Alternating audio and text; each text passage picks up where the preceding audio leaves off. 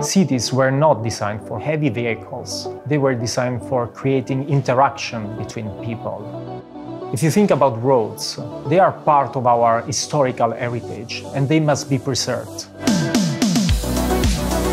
I'm Arturo Tedeschi, I'm an architect and computational designer, and I like to define my profession like something in between art and science. I generally create objects using algorithms.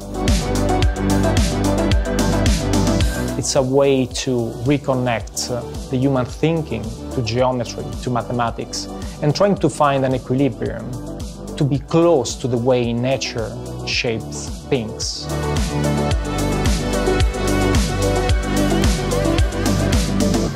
This approach inspired one of my first work, Sistema Fessura.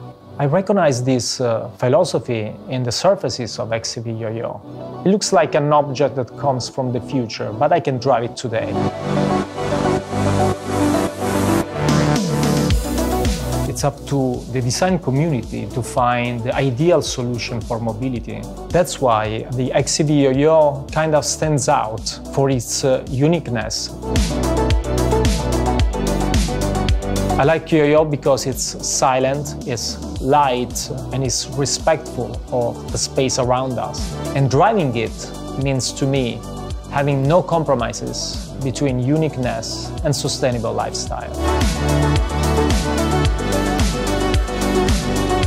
I love to think that uh, innovation and change are part of a natural process.